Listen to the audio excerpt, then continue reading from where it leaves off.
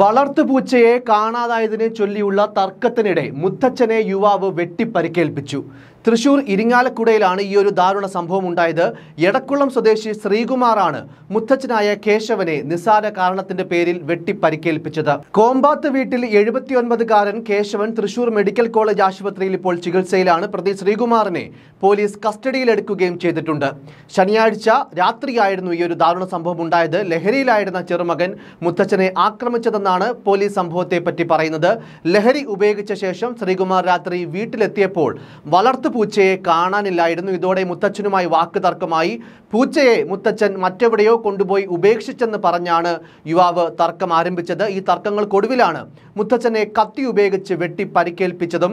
വെട്ടേറ്റ മുത്തച്ഛനെ പ്രതിയായ ശ്രീകുമാർ തന്നെയാണ് പിന്നീട് ഇരിങ്ങാലക്കുടയിലെ ആശുപത്രിയിൽ എത്തിച്ചതെന്നും അന്വേഷണത്തിൽ വ്യക്തമായി കഴിഞ്ഞു.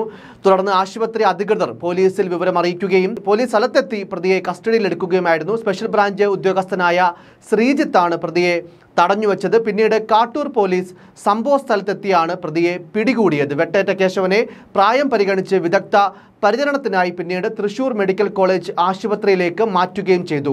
വധശ്രമം ഉൾപ്പെടെയുള്ള കേസുകളിൽ ശ്രീകുമാർ മുൻപും പ്രതിയാണെന്നാണ് പോലീസ് വ്യക്തമാക്കിയത്. ഇയാൾ പതിവായി ലഹരി ഉപയോഗിക്കുന്ന ആളാണെന്നും ലഹരിക്ക് അടിമയാണെന്നും പോലീസ് പറയുന്നുണ്ട്. എന്തായാലും ഈ ഒരു സംഭവത്തിൽ പ്രതിക്കെതിരെ ഗുരുതര കുറ്റങ്ങൾ തന്നെ ചുമത്തുമെന്നാണ് ലഭ്യമാകുന്ന വിവരം. കേരളത്തിലെ ചെറുപ്പക്കാർ എത്രത്തോളം ലഹരിക്കടിമയായി മാറുന്നുവെന്നത് തന്നെയാണ് ഇത്തരം സംഭവങ്ങൾ വ്യക്തമാക്കുന്നത്. ലഹരി ഉപയോഗിച്ച് സ്ഥലകാല ബോധമില്ലാ നടക്കുന്ന യുവാക്കൾ മാതാപിതാക്കൾക്കും മുത്തച്ഛന്മാർക്കും വരെ ഭീഷണിയായി മാറുകയാണ്. എത്ര ബോധവൽക്കരണം നടത്തിയാലും ലഹരി കേരളത്തിൽ പിടിമുറുക്കുന്നു. അത്തരത്തിലുള്ള ആക്രമണങ്ങൾ കൊലപാതകങ്ങളെല്ലാം നാൾക്ക് നാൾ വർദ്ധിച്ചു വരികയുമാണ്. News desk focus news T